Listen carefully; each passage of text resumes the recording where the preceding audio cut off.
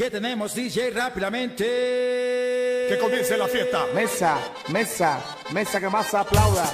Mesa que más aplauda. Mesa que más aplauda. Le mando, le mando, le mando. Con la tradicional bajada del arco floral en honor a San Pedro de Verona, este viernes 28 de abril dieron inicio las fiestas tradicionales en Mahuistlán, municipio de Coatepec.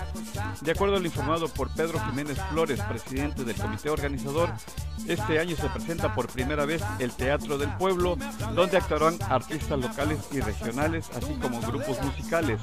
Hoy, 29 de abril, habrá carnaval a las 2 de la tarde y el doble de Juan Gabriel por la noche en el Teatro del Pueblo.